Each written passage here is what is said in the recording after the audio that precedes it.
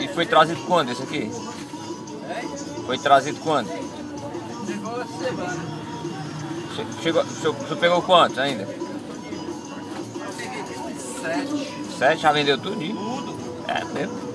É. Mas o menor preço dele? O menor preço dele? Era 20 conto aí pra tu. 3,80. Agora será que ele sobrevive com essa sem pena nenhuma?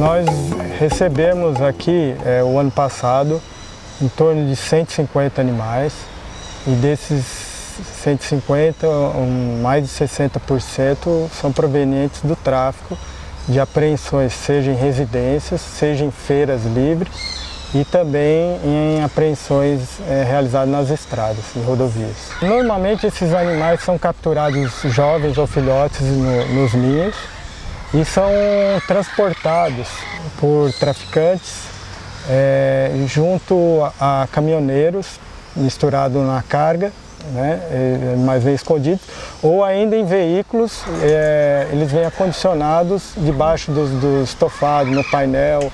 Esses papagaios que a gente encontra normalmente em apreensões são provenientes de outros estados, aí nós temos que fazer a repatriação. Normalmente a gente manda eles para o Mato Grosso, né, onde existe já um programa já é, estabelecido de reintrodução, onde ele passa por um processo de reabilitação e ambientação para depois ser liberto no habitat original. Normalmente nós devolvemos é, 60 a 80% desses animais são devolvidos. Nós normalmente temos em torno de 8 a 10% de óbito.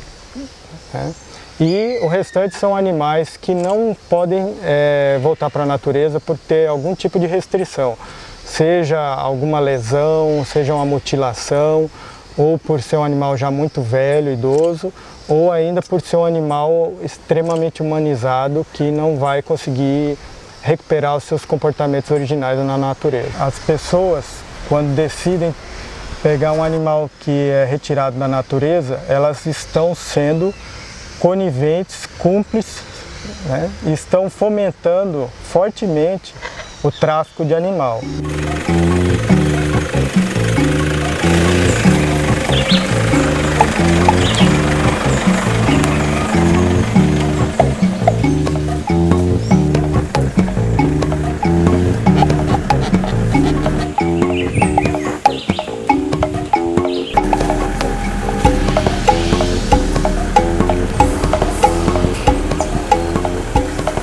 Nós estamos aqui é, tentando reverter uma situação, porque são animais que foram retirados da natureza, retirados ilegalmente, e agora nós estamos devolvendo esses animais para que eles possam reforçar as populações naturais que já existem e garantir a renovação da espécie.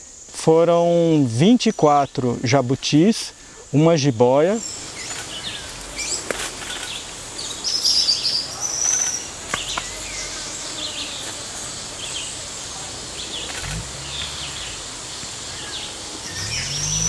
um guaxinim, um coandu, que é o, é mesmo porco espinho,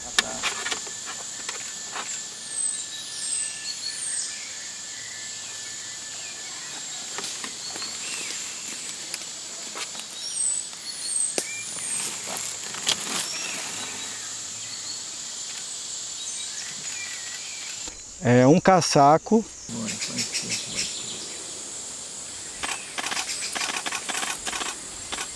Ontem fizemos também uma reposição de aves, né? É, foram soltas é, cerca de 50 aves, né? que elas ficam, na verdade elas estão num viveiro de adaptação no meio da mata e daqui uns 15 dias eles vão voltar para a natureza.